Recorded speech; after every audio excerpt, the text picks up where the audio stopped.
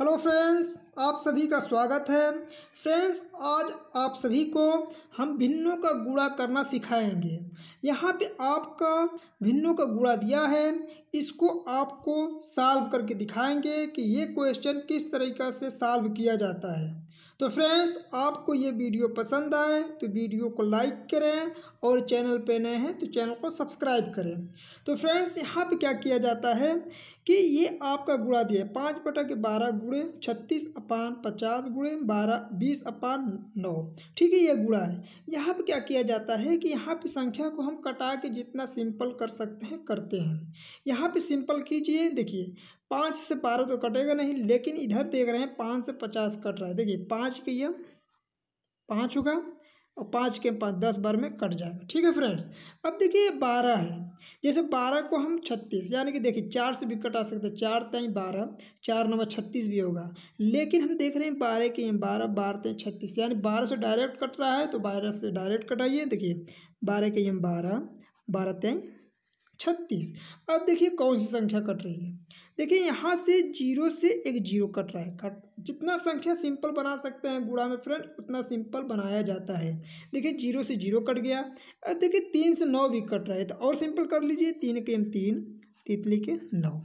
अब यहाँ पे देखिए क्या आपका बच रहा है। यहाँ पे लिख लेते हैं, आपकी कितनी संख्या बच रही है? देखिए, यहाँ पे अंश में एक बच रहा है, यहाँ पे हर में एक बच रहा है। गुड़ा का चिन्ह है गुड़ा का दीजिए। अंश में यहाँ पे एक बच रहा है, हर में भी यहाँ पे एक बच रहा है। गुड़ा का चिन्ह है गुड़ा का दीजिए। यहाँ पे अंश में दो बच रहा है, हर में तीन बच रहा है, ठीक है?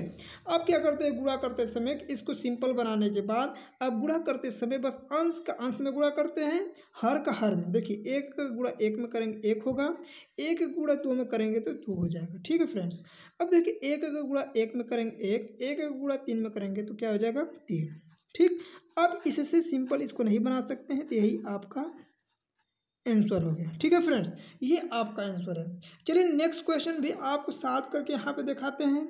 आपका ये नेक्स्ट क्वेश्चन है। तो फ्रेंड्स इस तरह आप कितनी भी बड़ी आपको गुड़ा करने के लिए कोई संख्या मिल जाए तो आप सिंपल तरीका से गुणा कर सकते हैं। बस इसको समझिए। देखिए क्या किया जाता है। पहले देखिए, रूल तो यही है कि गुणा में कि अंश का अंश में गुणा करते हैं, हर का हर में करते हैं। लेकिन इसको आप जितना सिंपल बना के गुणा करेंगे, उतना ही ज़्यादा ये आता है आंसर इसका सिंपल। देखिए, पहले कटाइए। देखिए, सात से कट रहा है, सात के सात सात तरीके इक्कीस कटाइए। देखिए, ये क्या हो रहा है कि देखिए, यहाँ पे चार से, ये देखिए, चार से सोलह कट रहा है। देखिए पहले यहाँ पे देखिए तीन से बारह भी कट रहा है, पहले तीन के एम तीन तीन चौक को बारह कट गया।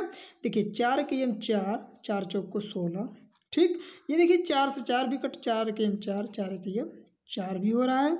यहाँ पे देखिए दस यहाँ पे पंद्रह तो जब यहाँ पे दस, यहाँ पे पंद्रह तो पाँच पाँच दुना के दस, पाँच ते पंद्रह, देखिए पाँच दुना के दस, पाँच तई पंद्रह, ठीक है? अब संख्या को उतार लीजिए, आपको बच क्या रहा है? देखिए अंश में एक है यहाँ पे यहाँ हर में एक है गुड़ा का चिन्ह गुड़ा के दीजिए। अंश में एक है, हर में एक है तो एक दीजिए गुड़ा का चिन्ह गुड़ा का दीजिए। अंश में एक है, हर में दो है तो दो दीजिए। गुड़ा का चिन्ह तीन अंश में है, हर दो में है तो यहाँ पे दो दीजिए। अब क्या करते हैं गुड़ा करते समय गुड़ा कीजिए। देखिए गुड़ा करते समय अंश का अंश में गुड़ा करते हैं, हर का हर में। देखिए, एक गुणा एक में करेंगे एक एक का गुणा एक में करेंगे एक एक का गुणा तीन में करेंगे तो तीन होगा, ठीक है? आप पान दीजिए, देखिए एक का गुणा एक में करेंगे एक एक का गुणा दो में करेंगे दो दो का गुणा दो में करेंगे चार तो यहाँ चार लिखिए दो दुना के चार, यही आपका आंसर हो गया। देखिए फ्रेंड्स कितना सिंपल है गुणा करना, बस आप गुणा करते समय कुछ बातों का ध्यान दिया जाता है, उन्हीं बातों को ध्यान दे के उसको सिंपल बनाइए, सिंपल बनाने के बाद अंश का अंश में गुणा कीजिए, हर का हर में कीजिए।